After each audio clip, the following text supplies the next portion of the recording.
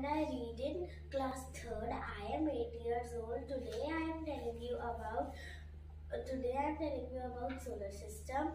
Solar system में जो एक साइंटिस्ट थे उन्होंने एक थ्योरी बनाई थी जिसका नाम है बिग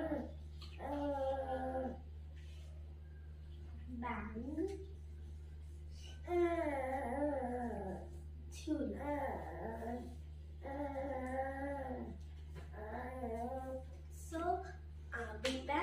में गैस का गोला था जो एकदम से फटा और उसके सारे पार्ट्स इधर उधर बहुत तेज़ी से घूमने लग गए और वो वन मिलियन और बहुत सालों के बाद बहुत सालों के बाद ठंडे होने लग गए और उनमें से हमारा एक अर्थ था और उसका जो बीच वाला पार्ट बचा उसका बीच वाला पार्ट था उसे हम सन कहलाते हैं। और से हमारा एक अर्थ है जिसपे सबसे सारी गैसेस में से एक हमारी गैस थी ऑक्सीजन ऑक्सीजन के बाद हमारे बने प्लांट्स देन एनिमल और सबसे लास्ट लास्ट में ह्यूमन बींग हम्म। तो फ़र्स्ट हमारा आता है सन और सन सबसे बिगेस्ट स्टार है इस पूरे वर्ल्ड में।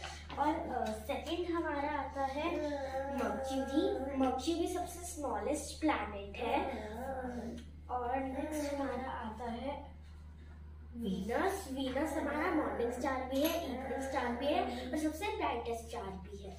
और नेक्स्ट हमारा आता है अर्थ जो जिसपे हम अभी रह रहे हैं और ये पूरा और इसका टू थर्ड पार्ट वाटर से कर कर है।